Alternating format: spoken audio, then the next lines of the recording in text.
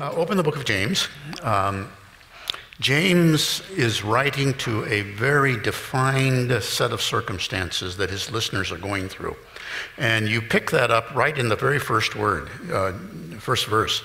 To the 12 tribes scattered among the nations. Jewish Christians who find themselves in Gentile countries. Uh, the opening paragraph of the handout that I provided talks about the persecution that forced them out of Jerusalem.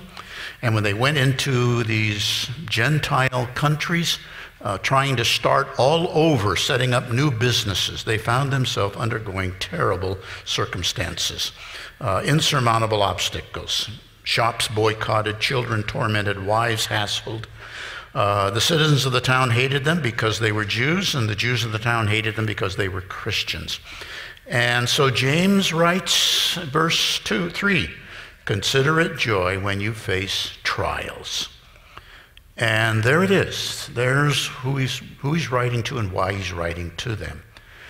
And the question becomes is that guiding, that sense of trials, is that guiding the entire flow of everything he says? Are we to understand the unfolding paragraphs as sort of shooting off in different directions, a string of pearls with no internal connection? Or are we to understand the unfolding paragraphs as moving through that same set of circumstances? Let me keep talking about trials all the way. And I want to suggest that that's what how we should approach the book of James.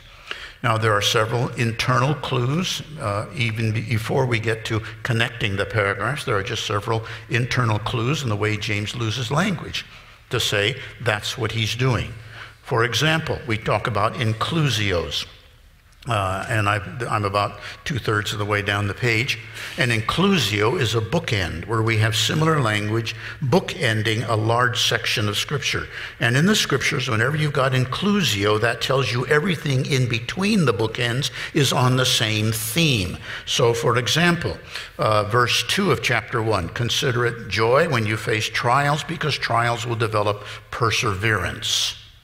And when perseverance finishes the job, you've got what God is after. You drop down to verse 12. Blessed is the man then who will persevere under the trial, because he will receive what God intends. Now, when you've got language like that in verses 2 and 3 and verse 12, that tells you everything in between those verses is to be connected to trials.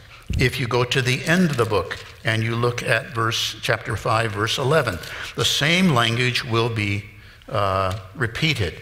As you know, we consider those blessed. They're, they get what God wants to give them if they have persevered. Okay, you've heard of Job's perseverance. You see what the Lord finally brought about.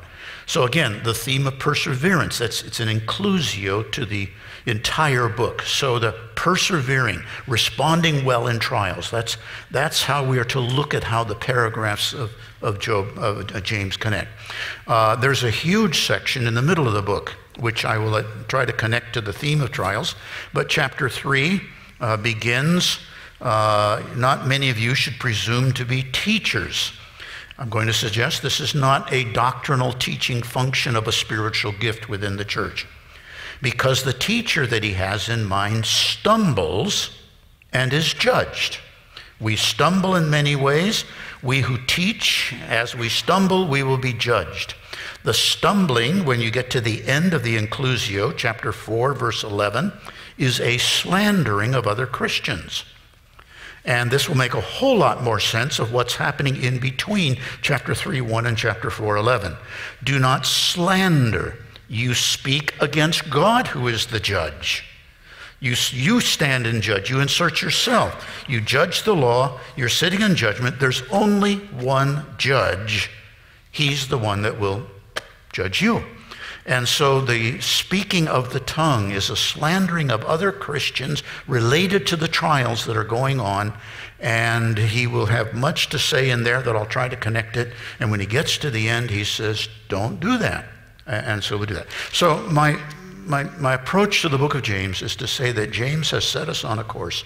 I'm going to talk about trials, and everything in my book is related to the subject of trials. Now, uh, I've given you in the handout a, a very brief set of the flow. Uh, roughly about a page worth, bottom of the first page through almost the bottom of the second page. After that, when I say exposition, I'm going to repeat what you have. Brief. Hello? Okay. And, but I'm going to add some more to it. So when we get to the bottom of page two and we start the bold print, uh, the bold print is basically what's on the previous top part of the page two. Uh, bottom of page one, top of page two. So the bold print on, is that, and I will just try to amplify to show the connections. Uh, the first paragraph we're all comfortable with. We all understand this is trials. And we are to have an anticipation that God is going to do something good in them. Uh, if we will persevere through them, uh, we will find a Christ likeness emerging. There will be some completeness. Whatever is lacking or immature will be dealt with. So we're very comfortable about that that this is the theme of trials. Now, because of verse 12, which is that inclusio, we need to understand what comes next connected to trials. And so when James says, if you lack wisdom, we must be careful not to mean if you're trying to decide whether to take a new ministry, if you're trying to decide who to marry. No, it's not wisdom for many decisions of life, it's wisdom about the trial. God is trying to address something in our life to bring us to completion. All right, what is it He's trying to address? If you lack wisdom, uh, there's a, a, way to persevere. To how do I, God, what do you want me to do to move through this trial to get the benefit? If you lack wisdom as to the purpose of the trial or how to persevere through it, ask God. Ask God. And God will give you some insight. Uh, God will reveal to you what it is He's after spiritually to bring about Christ likeness. Uh, he'll give you a, a way to move through this trial. But when you ask, you must believe. Okay, verse 6. When he asks, he must believe and not doubt. What? You must not doubt that the trial is by God from his hand for the purpose of bringing good in your life. If you think the trial is because you are surrounded by stupid people or it's just your dumb luck, that puts God out of the picture.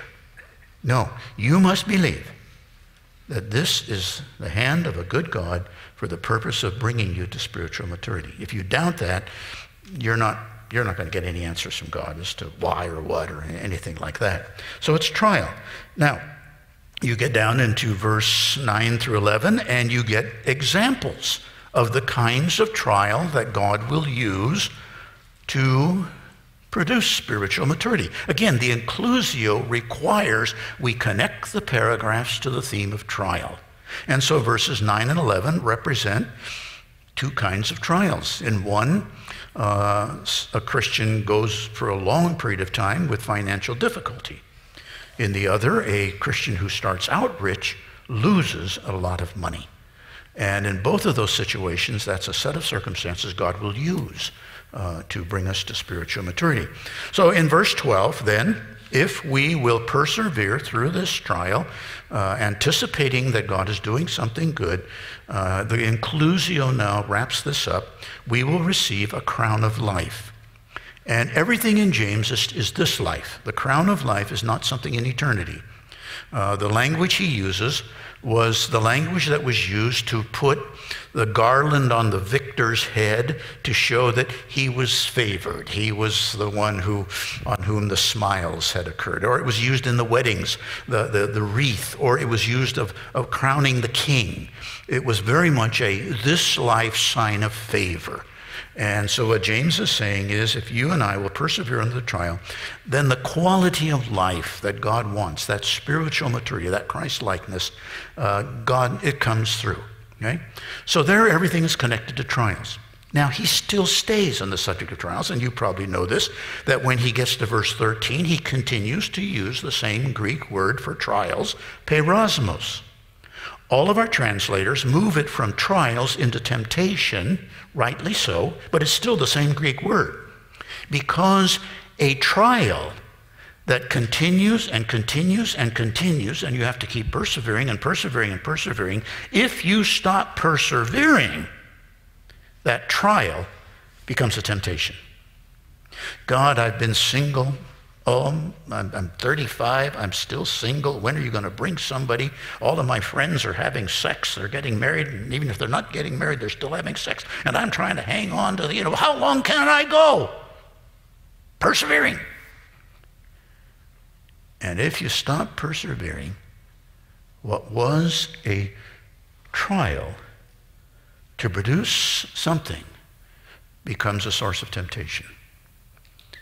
And on a business trip to Chicago at a banquet, you sat around and laughed with a lady from the New York office, and you ended up getting on the elevator together. And what do you know? We got off the same floor, and by golly, we started walking down the hall. And she said, When I heard you want to come in, you know, and have something out of the bar, uh, mini bar, God, it's your fault that I did what I did in Chicago. You pushed the envelope too far. The trial becomes a temptation. Same word, but James is saying if you find yourself sinning instead of persevering, don't blame God. Don't say you pushed the envelope too far. God is not responsible for that becoming a temptation. God does not tempt. He never tempts. That came because something evil in you each one, verse 14, is tempted when by his own evil desire he was enticed, and that desire birthed and blossomed and sinned. Don't be deceived. God only does good. From start to finish, from the birth that from the word of God that gave you birth into salvation, clear to the end when you are the highest of all of God's creation, the first fruits of all of his creation. From start to finish, God only has good in mind for you. Therefore, verse 19, here needs to be your response. You be quick to listen to the word of God, which gave you birth. You be quick to listen to the wisdom that God will give you when you ask for wisdom in this trial. You be quick to listen. You be slow to speak against God. And don't you become angry with God for your sin, because if you become angry, you'll never arrive at what God's purpose is in this trial. It will never bring about the righteous life, the Christ likeness, the maturity, the completeness. Instead of blaming God, verse 21, go back and address that evil. Go back and get rid of that moral filth, that evil which was prevalent. Get back to the Word of God that birthed you, that was planted in you. That Word of God can take you safely through the trial. And again, the word save you must be understood in the Old Testament temporal sense. James is writing out of the Old Testament uh, tradition save you. It will deliver you. It will safely take you through the trial. It will get you safely to the goal that God has in mind. It will save you, get you through it. Uh, this is what he's after. So, but when you go to the Word of God and you look for the wisdom as to how to get through this trial, uh, you're addressing the evil and you're bringing yourself back to persevere within it, you must obviously obey the word. You must not simply listen to it. Uh, verse 25, uh, if you look intently into the law that is designed to give you that freedom of life, if you'll not forget what you do, but you'll actually do it, then you'll get the blessing. You'll get the deliverance from the trial. You'll get the crown of life that God has in mind for you. Now, in verse 26 and 27, we come to what I think is a hinge in the book. Yes? Um, can, do you mind if I wait until the end to do that? I can stay on a flow because they've only given me 45 minutes. uh, but I do, I hope I will have some time. Uh, verses 26 and 27 become the hinge then. Uh, and he will start off by reviewing what he just said. Okay? If you consider yourself religious, if you're going to become what God wants you to be, the first thing you must do is you must control your tongue. You must not rebuke God, blame God, speak, become angry with God. You must keep a tight rein on your tongue. Then, secondly, if you're going to move through these trials in a proper way, you must commit yourself to two courses of action, which I believe is what he's going to address as he moves into the rest of the letter. You must, first of all, love You must love other people, and he will spend quite a bit of time on that. The phrase look after orphans and widows is kind of a euphemism or an idiom for you must love the poor. You must care about the poor. You must care about the marginalized. You must care about those who are not the A team list, okay? Uh, that's, you have to have that. And then, secondly, you must determine that you will not allow the world's way of responding to trials to pollute you.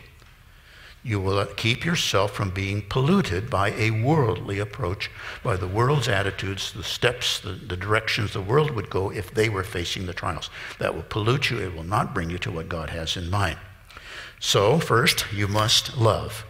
And in chapter 2, he's going to uh, have two, two parts to this love.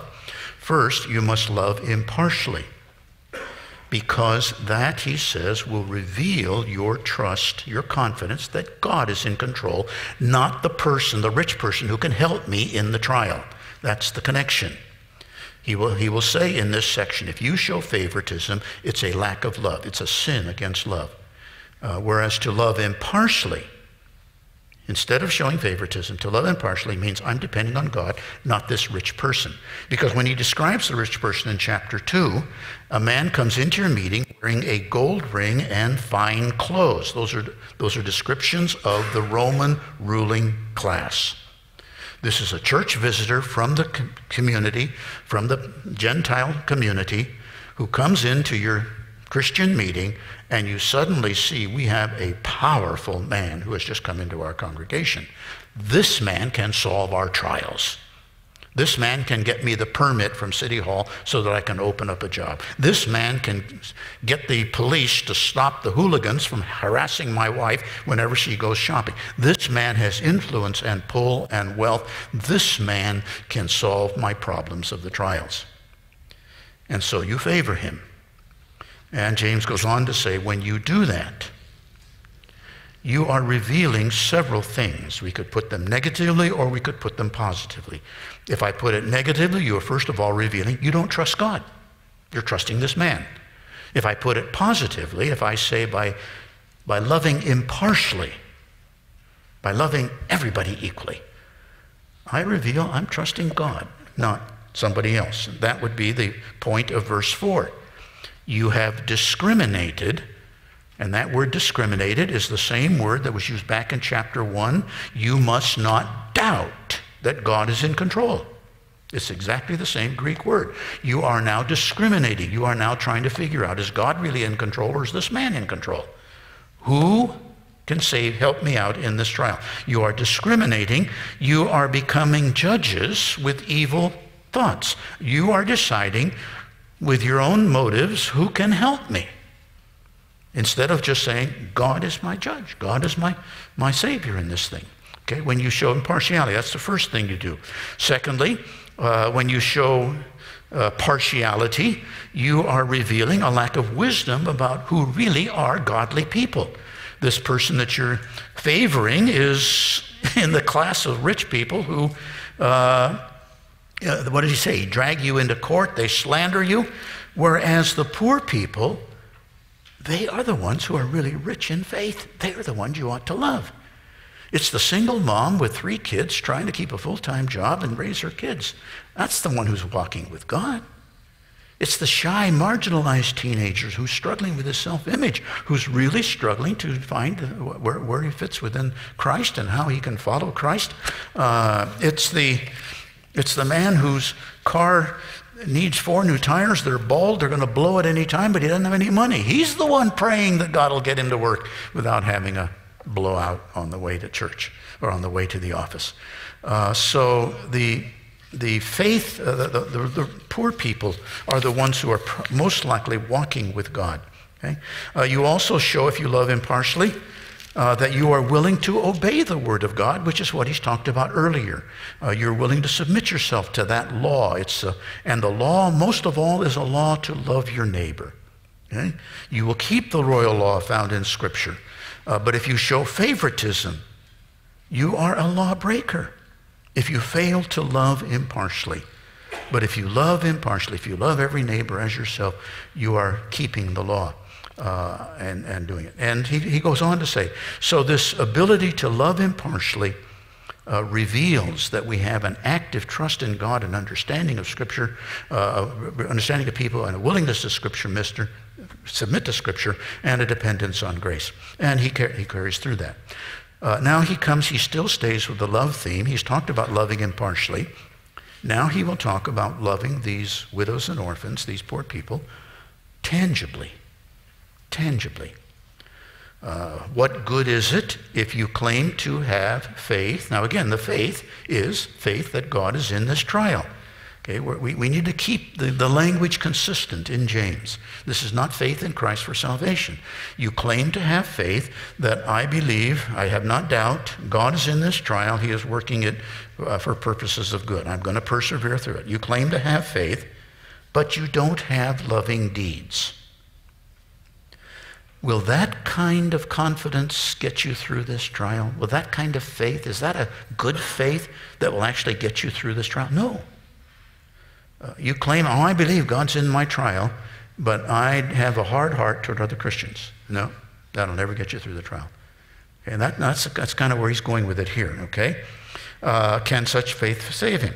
Uh, you tell me that there's a brother or sister. Here's your poor person. Here's your widow. Here's your orphan. Here's your person who they got one, one pair of cl- cl- suit of clothes that they're wearing, and they don't know where their next meal is coming from. And you turn them away.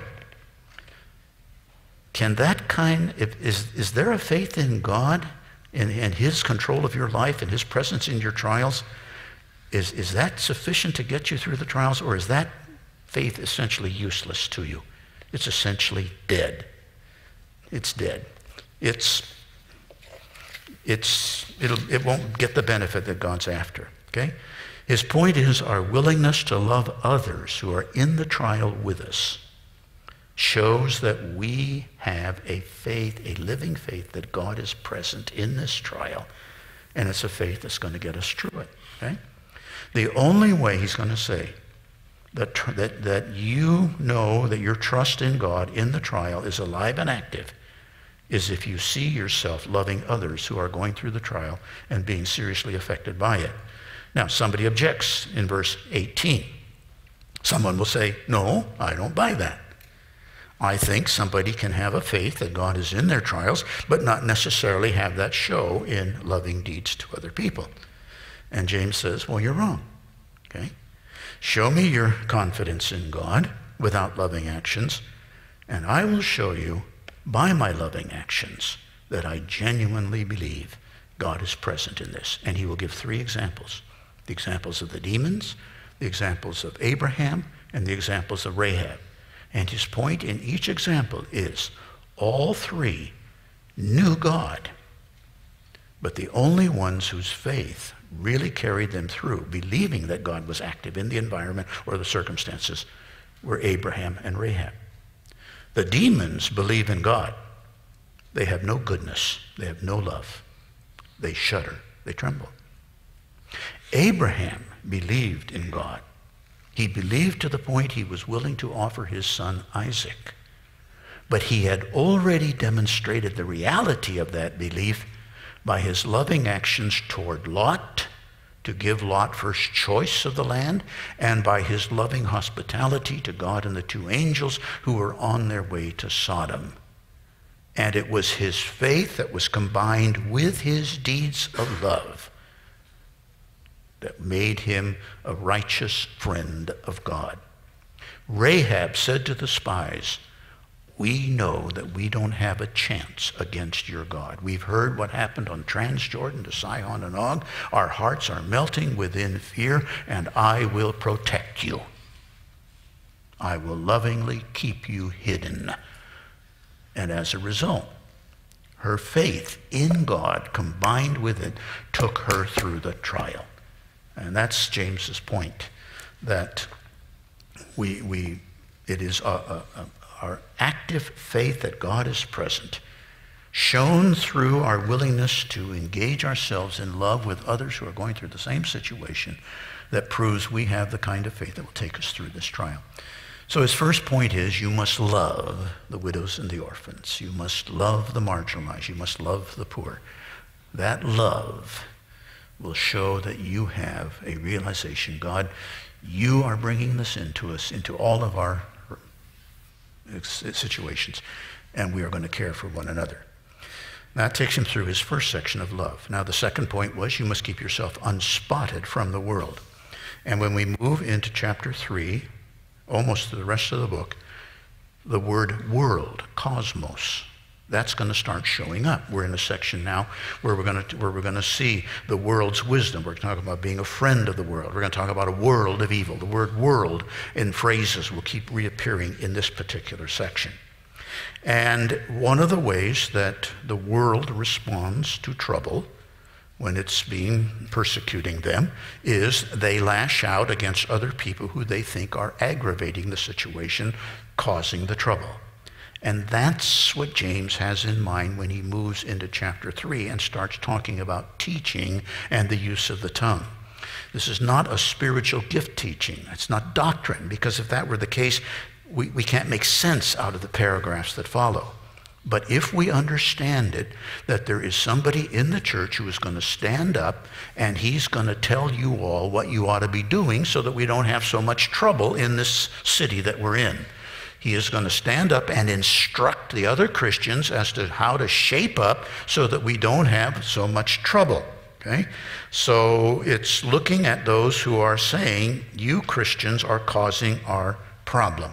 And this is why the inclusio will talk about if you slander, if you are so frustrated with other Christians and you abuse them verbally because you want them to get with the program, uh, you will be judged you will be judged. You are sinning against your people. And this will make a lot more sense out of the paragraphs as we go through.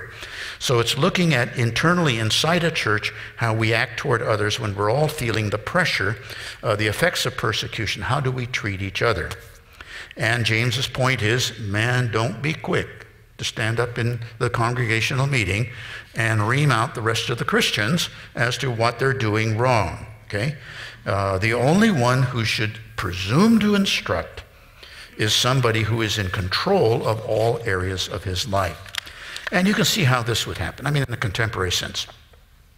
If our church is being abused in our community, well, somebody could get the idea, well, I know why that's the case. It's because some of you Christians, your son is the star goalie, but you won't let him play on Sunday. And so the select soccer team didn't get to go to state because the substitute goalie led in three, three shootout goals. And the rest of the teams now think that, you know, us Christians, and you know, or some of you, when you go to PTA and the subject of homosexuality uh, emphases within certain classes or books in the library, you, you, just stand up and make an idiot out of yourselves. Okay? And you bring the abuse on the, in other words, you're, you're bad PR for the rest of us Christians. Okay? Um, uh, some of you, you, you, you go late to family gatherings because you, you hang around at church. I mean, skip a service and get there for the lunch so that they don't have to schedule lunch at 2 o'clock to accommodate. You know, I mean, you're causing us problems. You're aggravating our situation. And James says, until you are a perfect man, until you are spiritually mature in the area of controlling your tongue, until you are complete, don't stand up to teach. Don't be the advice giver. Uh, and the honest truth is, the hardest area that we ever learn to control is our tongue. So most of you sit still in the pew and don't presume to be the counselor for the church. He goes on to talk about, you know, small things, if they're controlled, can have a very positive effect. He talks about ships and horses. Well, the tongue is small, but we can't control it. Instead, it is a world of evil. It is the world's way of causing evil in these kinds of situations. It sets on course life. Uh, uh, what does it say? He sets on the course his whole life on fire. Once you start this verbal abuse of other Christians and sin against them, you can never take it back. It's out there, it's stuck, and you are forever perceived, and they forever resent uh, the, the damn harm you did them. So, because it's so likely that we will sin with our tongue, we should avoid telling others until we find that our life is consistent, that there is a, a unity to our life, that there's a, an ongoing evidence of the kind of uh, behavior that shows we are mature.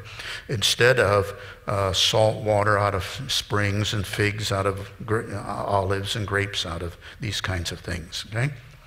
So, verse 13, he's still on the same subject. Do you consider yourself a counselor? Do you consider yourself somebody who has the wisdom for the church? Again, this is not doctrine. This is what steps should we take. The language he says, who is wise and understanding. Old Testament words to say, I know what we should do, that's wisdom, and I know how to get there, that's understanding. I know what direction we should be going, that's wisdom, and I know what steps we should take to get there, that's understanding. Okay? Do you consider yourself a person who has that for the church? Well, let us see, first of all, that you bring peace that you are, uh, you are humble. We see your behaviors. Instead, what we're noticing is that you are a envious, ambitious, self-centered, divisive, polarizing person, and you are boasting about having wisdom, but what you are really denying is you are in self-denial of the truth that you are not a wise person, you are being led by the devil. And the evidence is that when you get up and talk, disorder and sin and division and everything else, fights and quarrels break out within the congregation. Uh, you are divisive when you stand to speak. If you want to be a teacher to the church during a time of trial, uh, let us see the gentle humility and godliness that consistently comes out of your life. He's still on the subject of how do we handle these things within the church. Okay? And this carries over into chapter 4.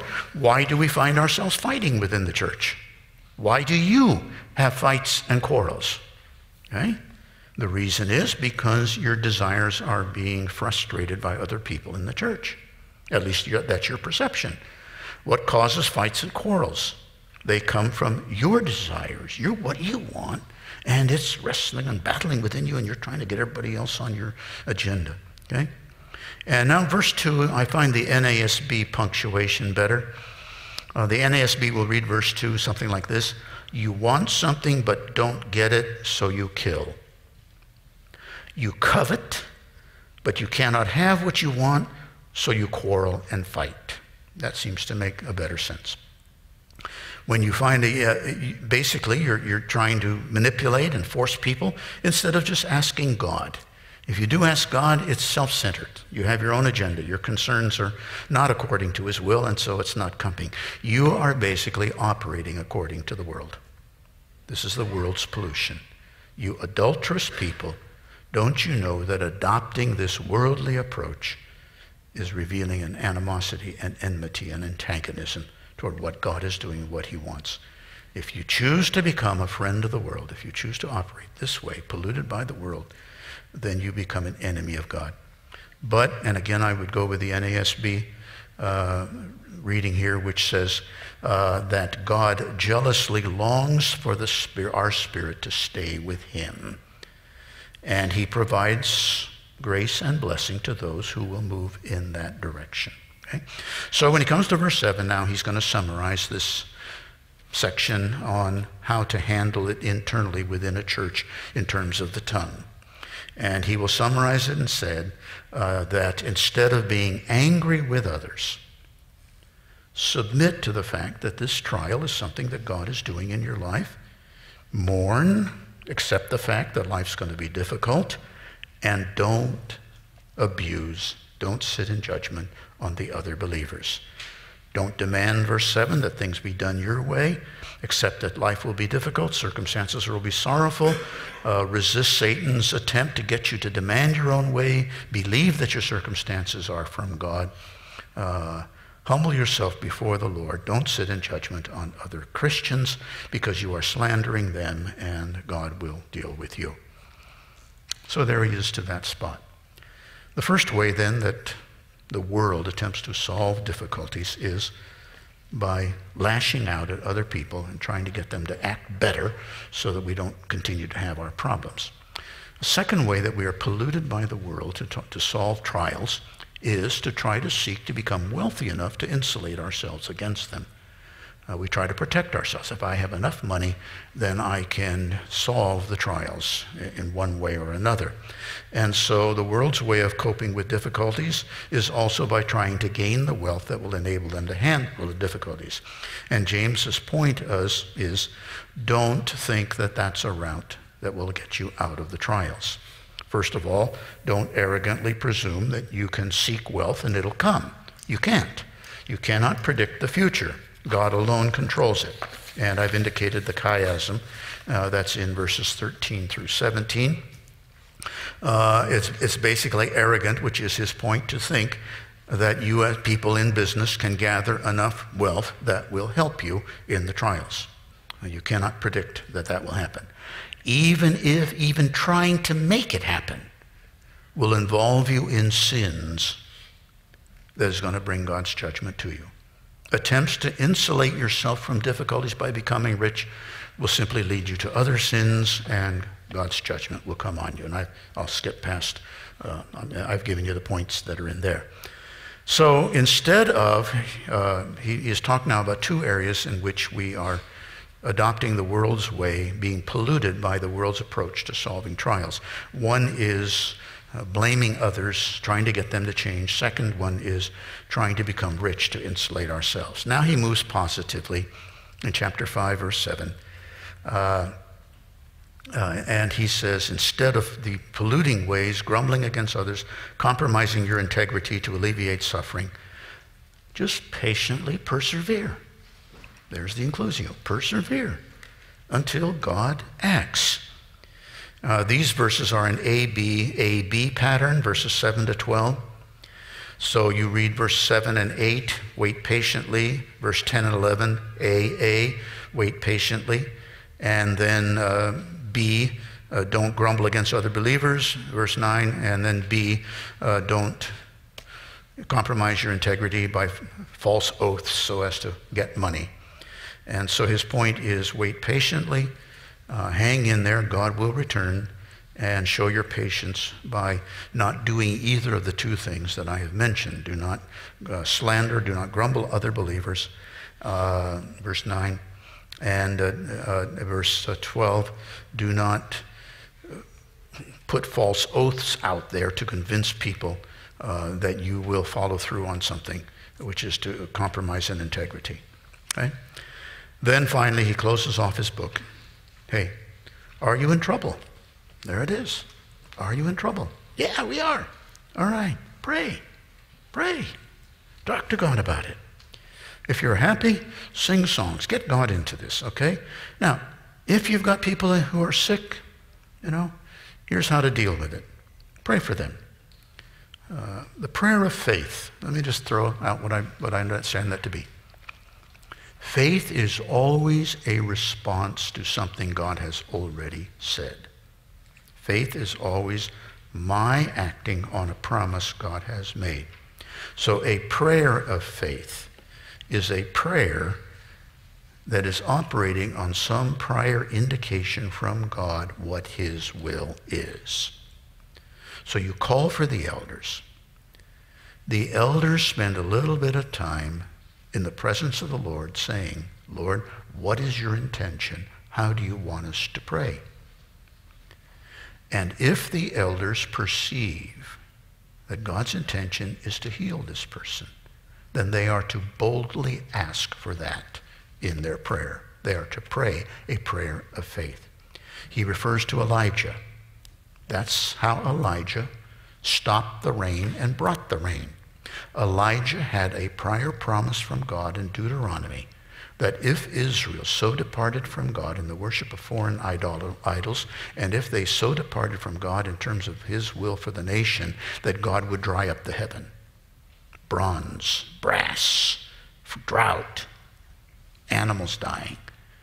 And Elijah, who reflected on the Torah, on Deuteronomy, at some point is saying, God, if there was ever a time when that ought to happen in our country, it would seem to be now. At which point God said, Yes, you go to Ahab. You tell him it's not going to rain. What made Elijah think he could pull that off? Can you go down to the Orange County Weather Bureau and say, until I give the word, you weather people might as well go home. We're not going to have any more rain.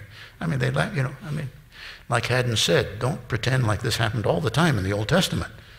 I mean, the reaction Elijah got was when he left Ahab's court, Ahab turned to the people around him and said, Who's that kook? Okay? So it's Elijah is operating on the faith that God has already made a statement.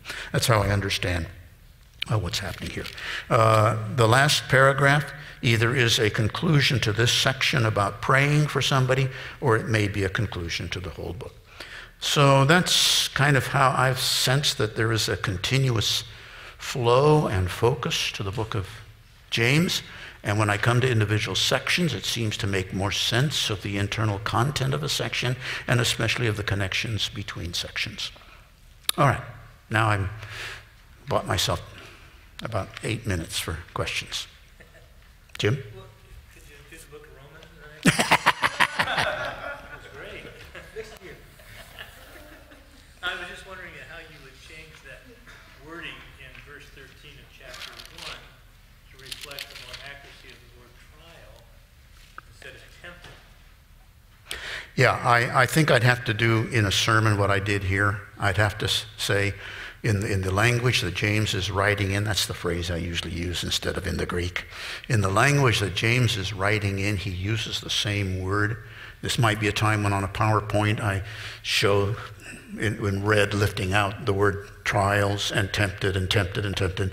And I might even put in a Greek in parentheses around it to show it's the same Greek word threading through it. And then I would just simply try to explain there are times if we don't persevere where the trial will become a temptation.